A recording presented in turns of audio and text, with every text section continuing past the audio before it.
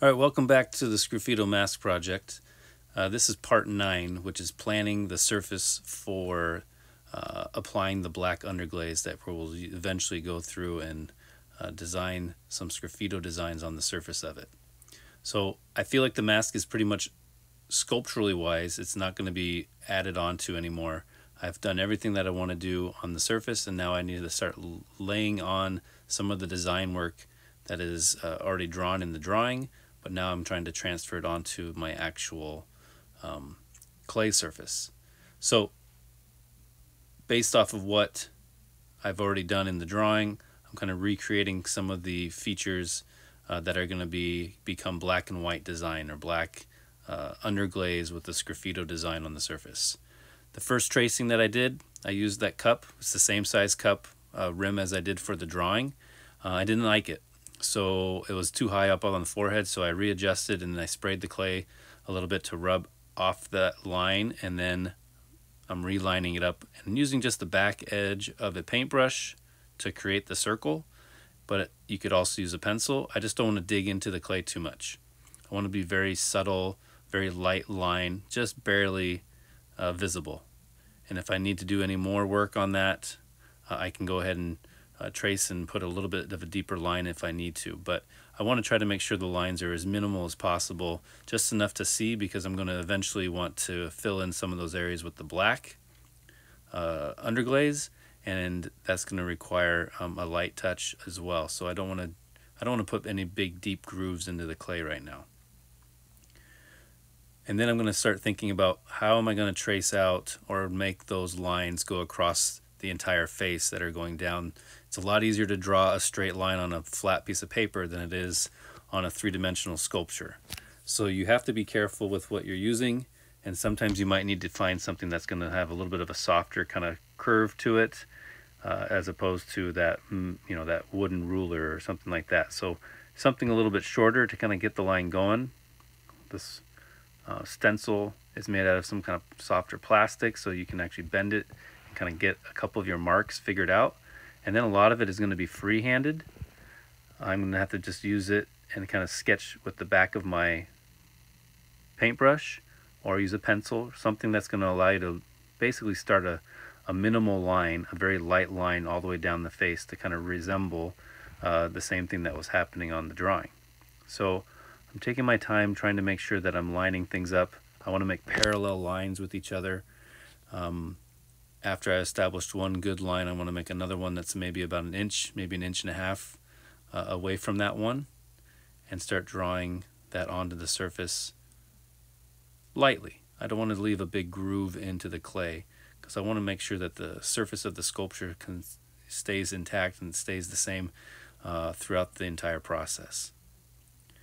But you can see there's a light sketch right there that I'm going to use as a guide when I start painting in with the black underglaze. And now doing the same thing on the other side and trying to recreate what I have done on the drawing. And it's pretty symmetrical, having them spaced out kind of the same way and just trying to make sure that it's just just there enough that I can see it so I know where to start and stop with with the black underglaze when I start painting that on the surface. So they look pretty parallel, they look pretty good. And then um, I'll get prepared to get started on uh, brushing on a couple layers of black underglaze for the final Sgraffito technique.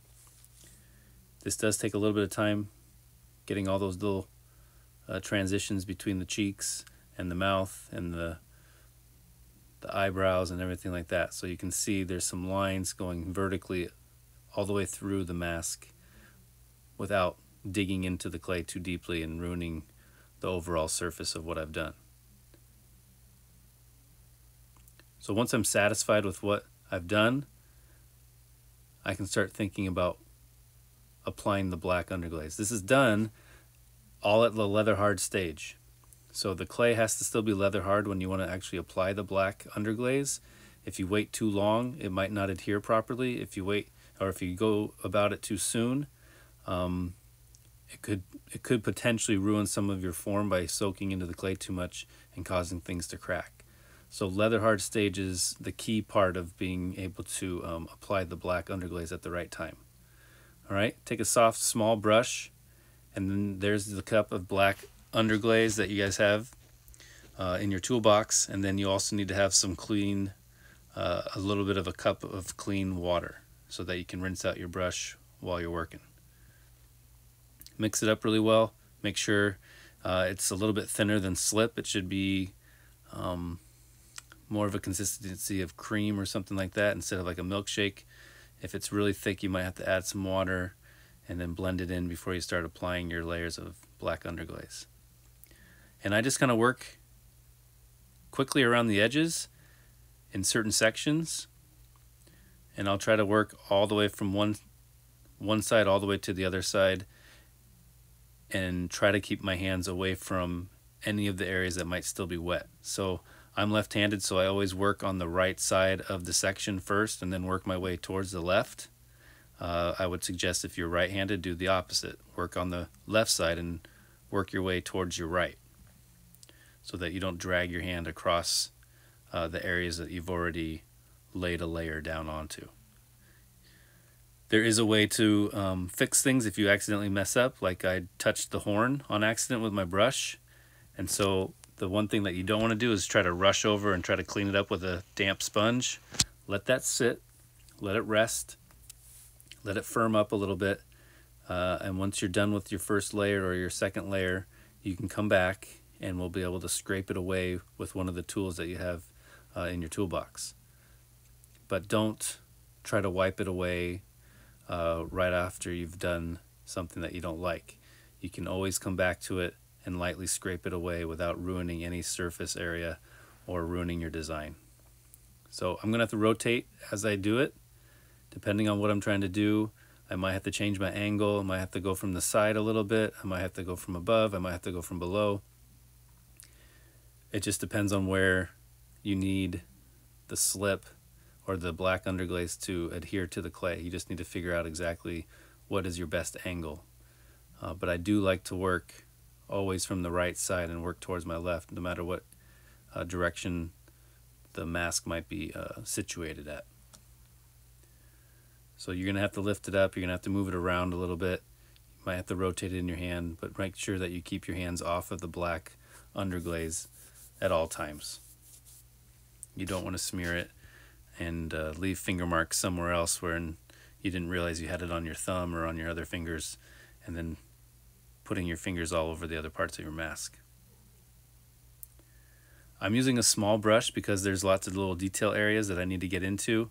Uh, if you feel comfortable, there's bigger brushes that you could possibly use uh, to fill in space a little bit quicker. But I'm only doing some accent work and I'm not covering the whole thing with black. So I know I can kind of move it around quickly enough with my smaller brush without having to um, worry about it drying out too fast or um, having any kind of issues with buildup or stuff like that. So once I get that one layer on, the first layer is kind of finished almost, I can go back and work on the second layer after I let it dry for a second or two, maybe maybe a little longer than that.